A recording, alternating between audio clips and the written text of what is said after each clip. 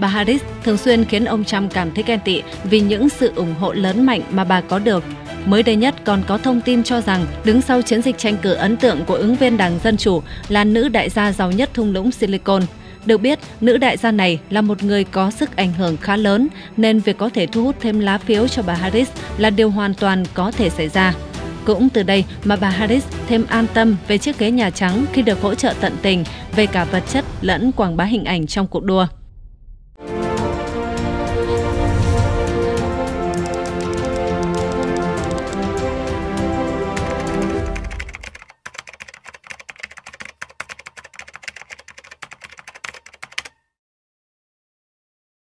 Bà Kamala Harris và bà Lawrence Powell Jobs là vợ của tỷ phú Steve Jobs là bạn thân suốt 20 năm.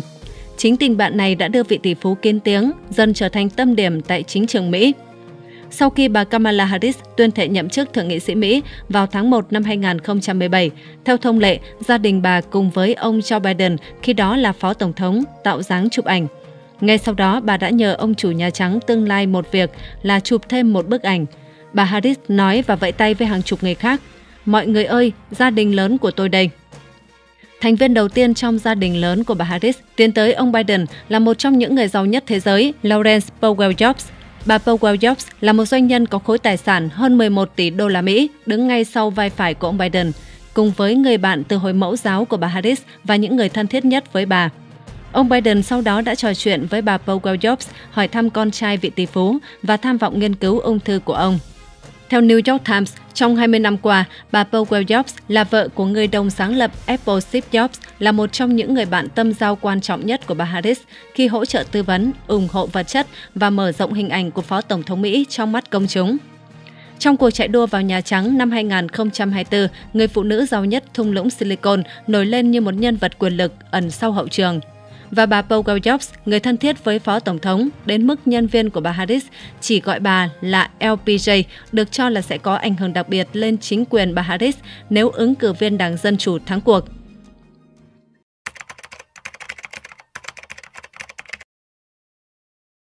Darren Walker, Chủ tịch quỹ Ford, đã có mặt tại một bữa tối ở Washington vào mùa thu năm 2024, cùng với bà Powell Jobs và vợ chồng bà Harris – Ông nhớ lại, tại nơi ở của Phó Tổng thống, họ ngồi trên ghế sofa như những người bạn lâu năm.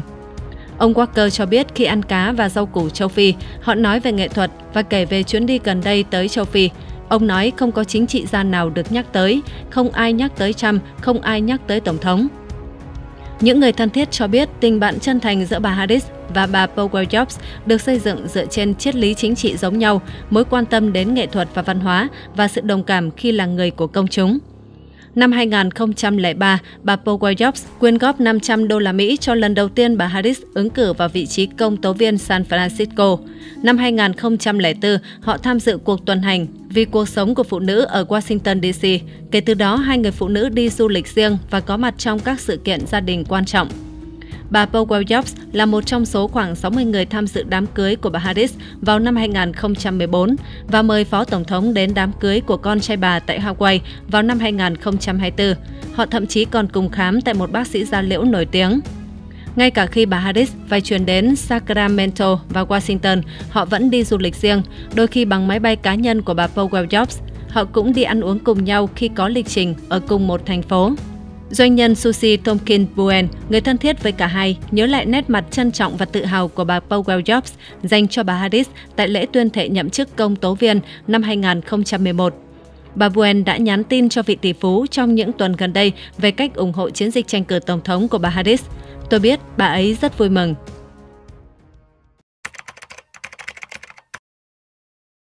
Trong một lần đồng ý trả lời phỏng vấn trên sân khấu một hội nghị công nghệ năm 2017, bà Powell Jobs đã kéo bà Harris ngồi chung.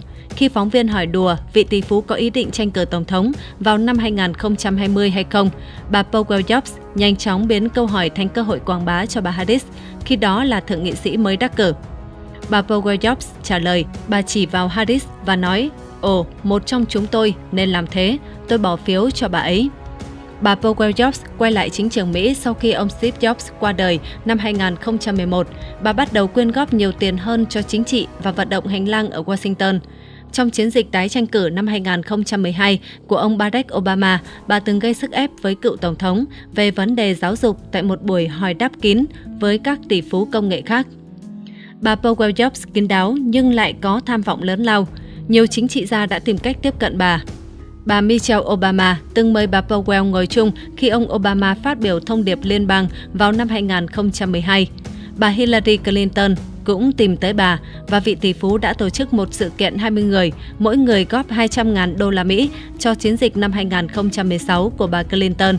Bà Powell Jobs cũng quen biết ông Kevin McCarthy, cựu chủ tịch Hạ viện Mỹ. Khi bà Harris bắt đầu thăng tiến, bà Powell Jobs đã tổ chức một loạt buổi gây quỹ, một số buổi ở chính dinh thự của bà và một buổi năm 2014 với sự góp mặt của hàng loạt tên tuổi máu mặt của thung lũng Silicon. Năm 2016, bà giành chọn đêm bầu cử để ăn mừng việc bà Harris được bầu vào Thượng viện Mỹ ở Los Angeles. Khi là thượng nghị sĩ, bà Harris thường đến văn phòng Emerson Collective tại Washington để nói chuyện với bà Powell Jobs và nhân viên, cũng như là những người bạn khác của vị tỷ phú. Tuy nhiên, bà Powell Jobs cũng có những giới hạn. Sau khi mua gần như toàn bộ tờ The Atlantic vào năm 2017, bà đôi khi không muốn dấn thân quá sâu vào chính trị. Bà từng nói với các đảng viên dân chủ rằng với tư cách là chủ sở hữu của một công ty truyền thông lớn, bà không nên thể hiện quan điểm đảng phái chính thức, khiến một số người trong nhóm của bà Harris và bà thất vọng.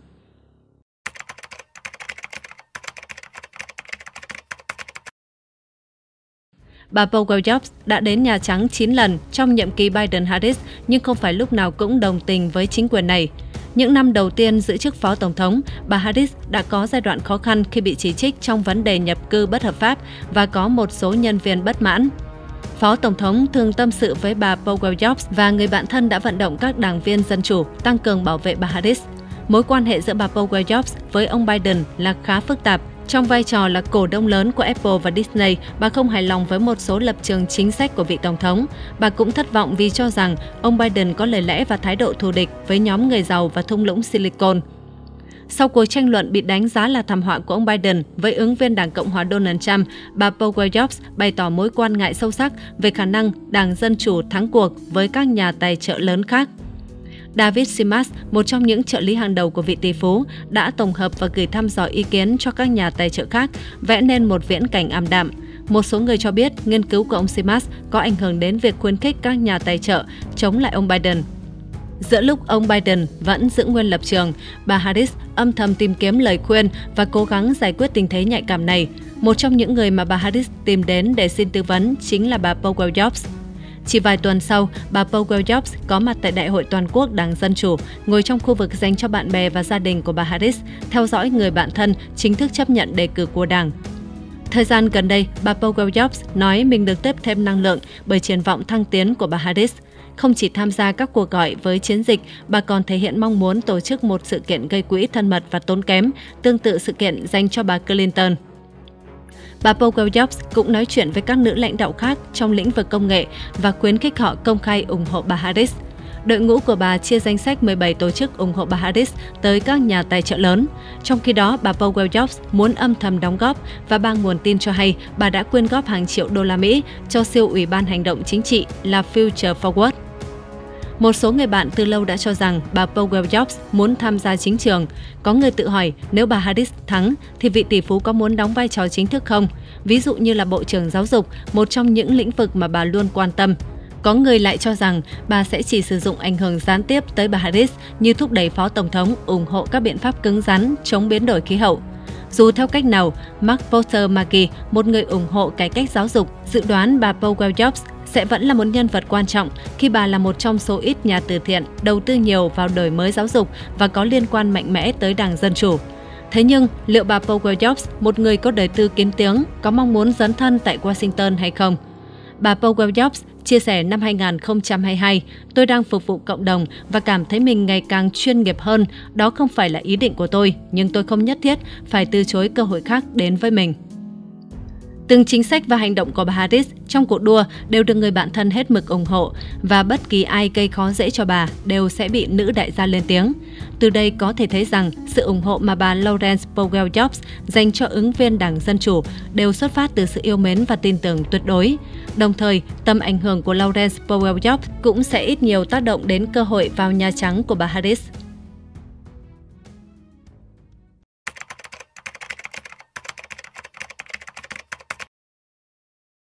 Phát biểu trước người ủng hộ trong cuộc vận động tranh cử ở Indiana, bang Pennsylvania hôm 23 tháng 9 năm 2024, ứng viên Tổng thống Đảng Cộng hòa Donald Trump nhắc lại bài đăng trên mạng xã hội Truth Social cuối tuần qua của ông rằng phụ nữ sẽ rất hạnh phúc và không còn nghĩ đến việc phá thai nếu ông đắc cử. Ông Trump nói, tôi đưa ra tuyên bố này cho những người phụ nữ tuyệt vời của đất nước chúng ta. Thật đáng buồn khi so với 4 năm trước, phụ nữ hiện nghèo hơn, sức khỏe kém, thiếu an toàn hơn trên đường phố và phải chi trả nhiều hơn cho hàng tạp hóa và mọi thứ khác. Cựu Tổng thống khẳng định sẽ thay đổi hiện trạng này một cách nhanh chóng nếu ông đắc cử. Ông Trump nhấn mạnh cơn ác mộng này sẽ kết thúc bởi tôi sẽ là người bảo vệ các bạn và tôi muốn làm như vậy. Trên cương vị Tổng thống, tôi phải là người bảo vệ các bạn. Tuyên bố được ông Trump đưa ra khi cựu Tổng thống đang nỗ lực thu hút cử tri nữ ở giai đoạn nước rút của cuộc đua vào Nhà Trắng. Cuộc thăm dò của New York Times và Đại học Siena được tiến hành sau màn tranh luận vào ngày 10 tháng 9 năm 2024 giữa hai ứng viên Tổng thống, cho thấy ở nhóm cử tri nữ, Phó Tổng thống Kamala Harris giành được 53% tỷ lệ ủng hộ và ông Trump giành được 42%. Ở nhóm cử tri nam, cựu Tổng thống dẫn trước ứng viên Đảng Dân Chủ với tỷ lệ lần lượt là 53% và 39%. Cuộc vận động mới nhất đánh dấu lần đầu tiên ông Trump trở lại Pennsylvania, một trong bảy bang chiến trường kể từ cuối tháng 8 năm 2024. Cuộc thăm dò của Decisions Desk HQ The Hill cho thấy bà Harris đang dẫn trước ông Trump 1,2 điểm tại bang này. Phát biểu trước người ủng hộ ở Indiana, ông Trump cho biết kết quả bỏ phiếu ở Pennsylvania có thể quyết định người chiến thắng trong cuộc bầu cử tháng 11 năm 2024. Cựu Tổng thống nhấn mạnh hãy ra ngoài và lên kế hoạch bỏ phiếu sớm, bỏ phiếu vắng mặt hoặc bỏ phiếu trực tiếp vào ngày bầu cử. Rất đơn giản, nếu thắng ở Pennsylvania, chúng ta sẽ thắng chung cuộc.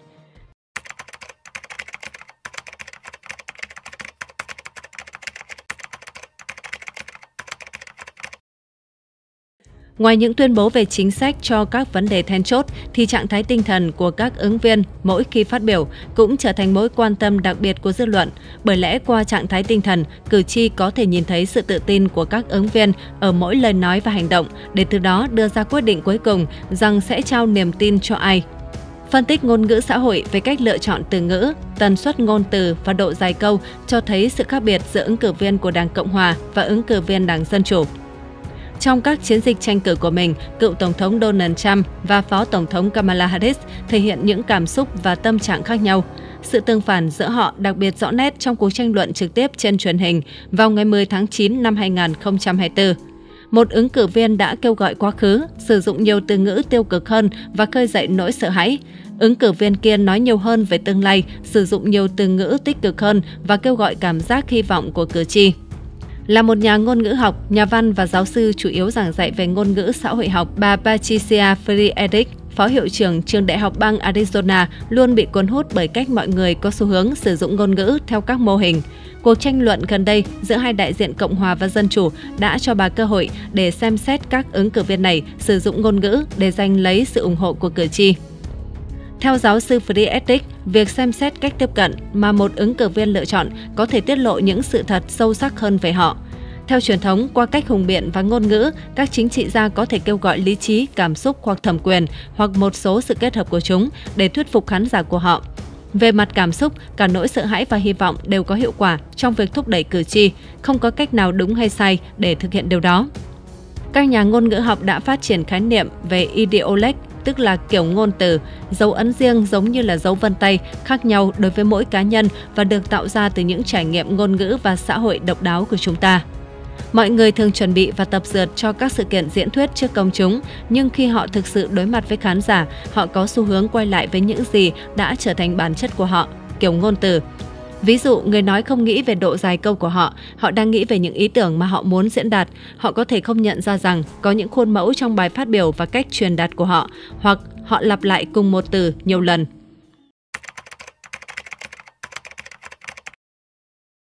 Giáo sư Friedrich đã dùng một công cụ trí tuệ nhân tạo AI trả lời các câu hỏi về tần suất của các từ, độ dài của câu và loại từ trong cuộc tranh luận Bà kiểm tra tất cả đầu ra của công cụ AI theo cách thủ công để có thể đảm bảo không có sự khác biệt nào. Bà dự đoán rằng cách các ứng cử viên sử dụng ngôn ngữ trong cuộc tranh luận sẽ phản ánh cách tiếp cận khác nhau của họ đối với chiến dịch, đặc biệt là về định hướng quá khứ hoặc hiện tại, kêu gọi nỗi sợ hãi hoặc hy vọng và các tuyên bố tiêu cực hoặc tích cực và thực tế là họ đã làm được Đầu tiên, giáo sư Friedrich đã chọn 6 phân đoạn của bản ghi cuộc tranh luận, mỗi phân đoạn có độ dài tương đương và mỗi phân đoạn có cả hai ứng cử viên trả lời cùng một câu hỏi hoặc ít nhất là một câu hỏi tương tự. Sau đó, bà xem xét sự tiêu cực trong ngôn ngữ của họ, cho rằng những tuyên bố tiêu cực hơn sẽ phù hợp hơn với lời kêu gọi chính trị đánh vào nỗi sợ hãi, trong khi những tuyên bố tích cực hơn sẽ liên quan chặt chẽ hơn đến thức tỉnh niềm hy vọng. Nếu một ứng cử viên kêu gọi nỗi sợ hãi, họ có thể sẽ tập trung vào những điều có thể hoặc đã sai. Ngược lại, nếu họ tập trung vào hy vọng, họ có khả năng tập trung vào những gì có thể diễn ra tốt đẹp trong tương lai. Kết quả cho thấy ông Trump luôn đưa ra nhiều tuyên bố tiêu cực hơn bà Harris. Điều đó đúng với từng phân đoạn trong cả 6 phân đoạn, với tỷ lệ khác biệt từ 33% đến 166%. Ví dụ trong phân đoạn dài 30 giây, ông Trump đã sử dụng các tuyên bố và từ ngữ tiêu cực như là hoàn toàn phá hủy và thảm họa 12 lần. Trong phản hồi dài 30 giây của mình, bà Harris chỉ sử dụng các tuyên bố hoặc từ ngữ tiêu cực 7 lần. Giọng điệu của các thuật ngữ cũng khác nhau, các từ ngữ tiêu cực của ông Trump có xu hướng mạnh hơn, chẳng hạn như bạo lực, rất khủng khiếp và vô lý. Nhìn chung, đối với tất cả các phân đoạn đã phân tích, trung bình ông Trump đưa ra nhiều tuyên bố tiêu cực hơn đối thủ là khoảng 61%. Sau đó, giáo sư Patricia Friedrich xem xét độ dài của câu với suy luận rằng câu ngắn hơn có thể có xu hướng truyền đạt cảm giác cấp bách, phù hợp hơn với nỗi sợ hãi và những câu dài hơn có thể trôi chảy và bình tĩnh hơn, do đó liên quan nhiều hơn đến hy vọng. Theo trực giác, mọi người có thể nghĩ rằng những tuyên bố ngắn phản ánh sự trực tiếp và giải quyết vấn đề một cách trực diện, nhưng không nhất thiết phải như vậy. Ví dụ, một trong những tuyên bố tương đối ngắn của ông Trump, thỏa thuận nói rằng bạn phải làm điều này, điều này, điều này, điều này, điều này và họ đã không làm điều đó, có thể được coi là né tránh vì nó không chứa thông tin cụ thể, cho phép người nghe tự đánh giá xem điều gì đó đã được thực hiện hay chưa. Tuy nhiên, nó đơn giản và ngắn gọn, chỉ dài do lặp lại từ điều này. Đối với phân đoạn đầu tiên được phân tích, độ dài trung bình của các câu đối với ông Trump là 13 từ, trong khi đối với bà Harris là 17 từ. Khoảng cách mở rộng ở phần thứ hai, trong đó độ dài trung bình của các câu đối với cựu tổng thống là 14 từ, trong khi đối với nữ phó tổng thống là 25 từ. Mô hình đó cũng giống như là ở phần thứ ba. Cuối cùng, giáo sư Friedrich xem xét cách hai người nói về tương lai và quá khứ và liệu họ có nói về cái này hay cái kia nhiều hơn không, như những chỉ báo có thể cho thấy sự tập trung nhiều hơn vào nỗi sợ hãi hay hy vọng. Thông thường, trong bối cảnh sợ hãi, quá khứ gần như sẽ được sử dụng như một thời điểm để trốn thoát, còn quá khứ xa hơn là thời điểm để quay trở lại. Ngược lại, những người tập trung vào hy vọng sẽ hướng đến tương lai. Khi phân tích những phát biểu kết thúc của họ, bà Friedrich thấy rằng cả hai ứng cử viên đều đưa ra cùng một số lượng tham chiếu đến quá khứ, nhưng theo những cách rất khác nhau. Hầu hết các tham chiếu của Harris về quá khứ đều liên quan đến thực tế là ông Trump đã tập trung vào nó. Trong khi đó, ông Trump nói nhiều hơn về những thất bại mà ông cho là của những người đối lập trong quá khứ. Ông cũng nói về những thành tựu trước đây của mình, chẳng hạn như tôi đã xây dựng lại toàn bộ quân đội của chúng ta. Về các tuyên bố trong tương lai, cả bốn tuyên bố của ông Trump đều là cảnh báo những gì ông cho rằng sẽ xảy ra nếu đối thủ của ông giành chiến thắng. Ví dụ, nếu bà ấy thắng cử, hoạt động khai thác khí đá phiến ở Pennsylvania sẽ kết thúc vào ngày đầu tiên của nhiệm kỳ tổng thống. Bà Harris đã có 9 tuyên bố hướng đến tương lai, tất cả đều nói về những gì bà dự định làm. Ví dụ bà nói, và khi tôi trở thành Tổng thống, chúng tôi sẽ làm điều đó cho tất cả mọi người, hiểu rằng giá trị mà tôi mang lại cho việc này là quyền được chăm sóc sức khỏe, phải là quyền, chứ không chỉ là đặc quyền của những người có khả năng chi trả. Cũng trong tuyên bố kết thúc của mình, Phó Tổng thống Harris đã tóm tắt cả cuộc tranh luận. Tối nay, các bạn đã nghe hai tầm nhìn rất khác nhau cho đất nước chúng ta. Một tầm nhìn tập trung vào tương lai và một tầm nhìn tập trung vào quá khứ. Và một nỗ lực đưa chúng ta trở lại quá khứ, nhưng chúng ta sẽ không quay lại. Kết quả bầu cử sẽ cho chúng ta biết liệu cử tri Mỹ tại thời điểm này bị thu hút nhiều hơn bởi nỗi sợ hãi hay hy vọng. và khoảng thời gian vài tuần tới chắc chắn sẽ cung cấp một lượng lớn dữ liệu cho các phân tích ngôn ngữ. Có thể thấy rằng dựa trên những phân tích của AI, cử tri dần hình dung được trạng thái tinh thần thật sự của hai ứng viên ở giai đoạn nước rút. Ai còn nhiệt huyết và đường lối của ai thu hút được cử tri hơn đều được thể hiện rõ và liệu việc giúp cử tri hiểu rõ bản thân các ứng viên có giúp chiến dịch tranh cử của họ gặp thuận lợi hơn hay chỉ làm chặng đường sắp tới trở nên khó khăn hơn.